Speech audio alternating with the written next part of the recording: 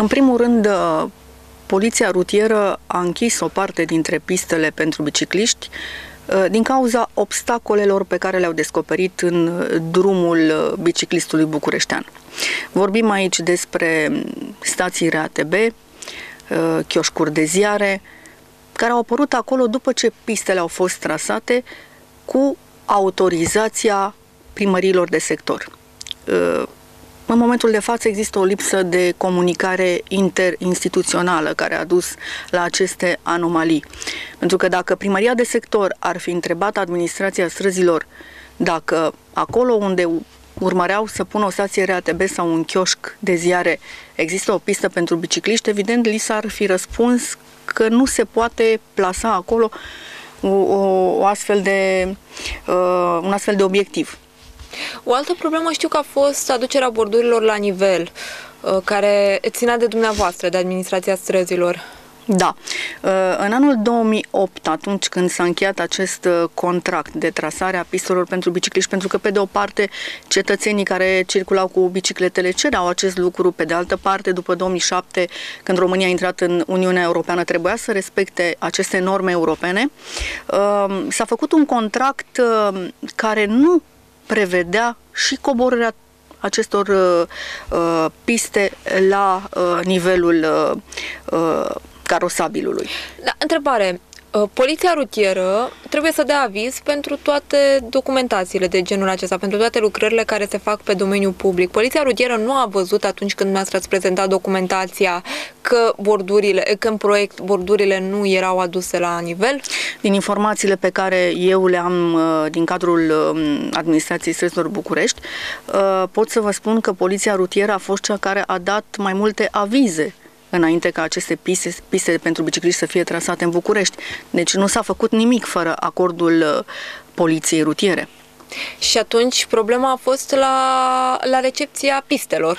Um, ei nu aveau uh, în atribuții, din câte am înțeles, să participe și la uh, recepționarea acestor piste pentru bicicliști. Treaba dumnealor a fost doar să uh, avizeze traseele uh, bicicliștilor, deci pe unde aveau ele să treacă conform planului. Și au dat avizul.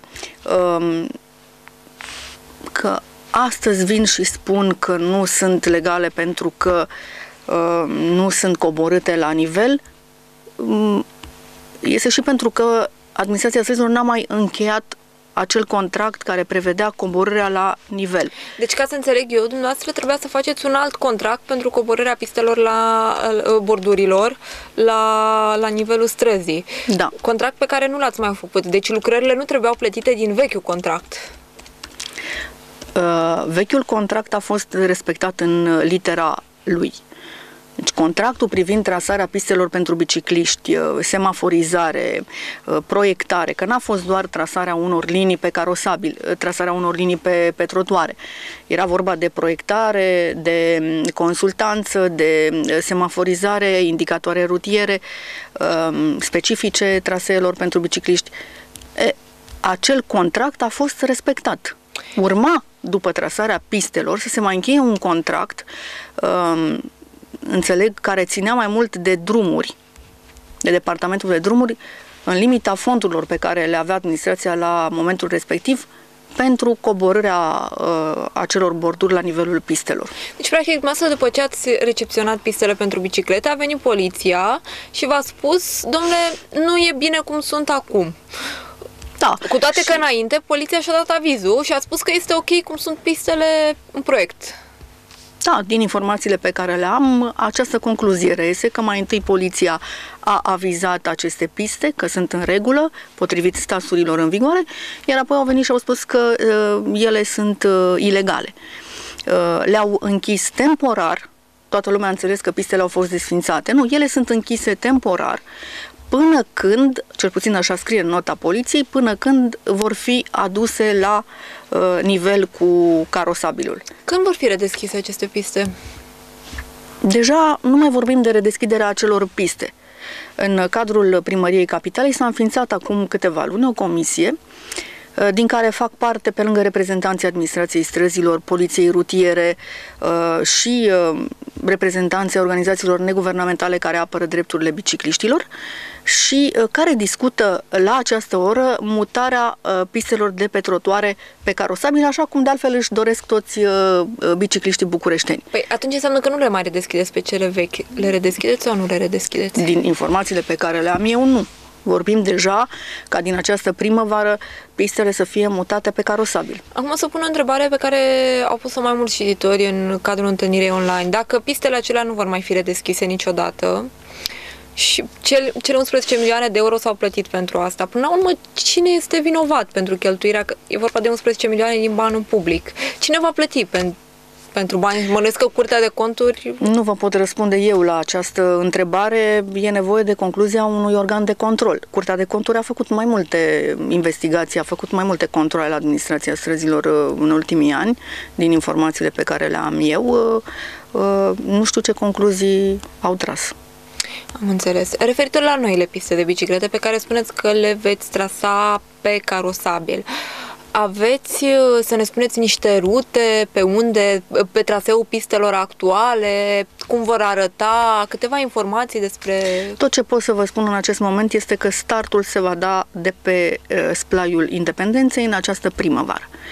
Pe unde vor fi trasate, cât de lungi vor fi, nu vă pot spune. Cât de late, cât... Nu vă pot răspunde la această întrebare. Este, încă o dată vă spun, uh, o comisie înființată care uh, studiază exact această problemă. Directorul uh, Direcției Transporturi din cadrul Primăriei Capitale a făcut recent o declarație în care a spus că din această primăvară pistele vor fi mutate de pe trotuare pe carosabil. Aici avem însă o problemă. Eu am participat la aceste uh, ședințe și uh, reprezentanții RATB au ridicat uh, um, mai multe semne de întrebare cu privire la succesul acestor piste de pe carosabil, având în vedere că șoferii RATB nu prea agrează această idee de a muta uh, pistele pe carosabil. Ei uh, și așa se confruntă cu mm, rebelitatea mm, uh, motocicliștilor, scuteriștilor. Uh, va fi foarte greu, spun ei, uh, să mai facă față încă unui, încă unui val de... Dar, practic, autobuzul va merge pe banda lui, că am înțeles că se vor trasa niște benzi unice pentru autobuz, iar bicicliștii pe banda lor. Atunci, care ar fi problema? Spuneți că bicicliștii ne-ar respecta și ar ieși de pe banda lor și s-ar intersecta cu autobuzul? sau?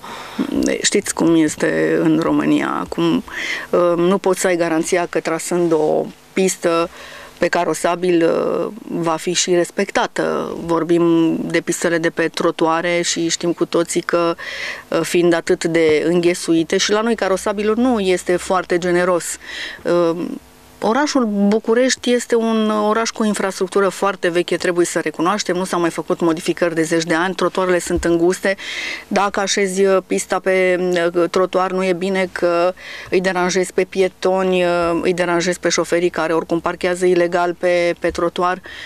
Noi am pus de mai multe ori acești, acei stâlpișori care au fost pur și simplu rași. Uh, de, de șoferii bucureșteni pentru a-și putea permite să parcheze în locuri ilegale. Aici nu mai este treaba administrației străzilor București să rezolve această problemă. Pe carosabil, uh, pe, pe trotuare, în foarte multe locuri uh, stau mașinile aranjate una lângă alta, fără să aibă niciun fel de probleme și, desigur, biciclistul săracul nu mai are pe unde să treacă, nici pe pistă, nici pe lângă pistă, că dă peste pietoni și pe carosabil ca și pe trotuar, va fi o mare înghesuială. Înțeles. Câți bani a cerut administrația străzilor în proiectul de buget pe anul acesta pentru pistele de biciclete? Sincer, nu am această informație. Știu că acest uh, domeniu a fost uh, prins în bugetul pe 2013. Bugetul se află în uh, dezbatere și la Consiliul General al Municipiului București. Înțeleg că în această lună există o speranță să se voteze bugetul pentru a putea trece la treabă.